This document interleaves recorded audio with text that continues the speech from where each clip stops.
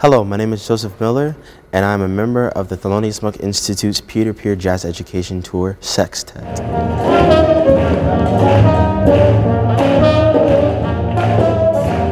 What I like about jazz is the community that you did you get playing jazz.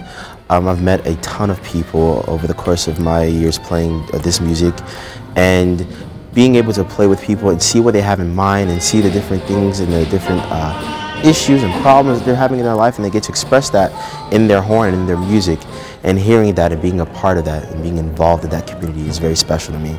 That's why I play jazz. I love jazz. It makes me feel great, especially when you when you're trying to explain something to them, and then they finally get it. They finally get the soul and the feel of the music, and their light and their face lights up and it brightens up, and it makes me feel very special. And also, it makes me feel good knowing that I'm doing something great in this community.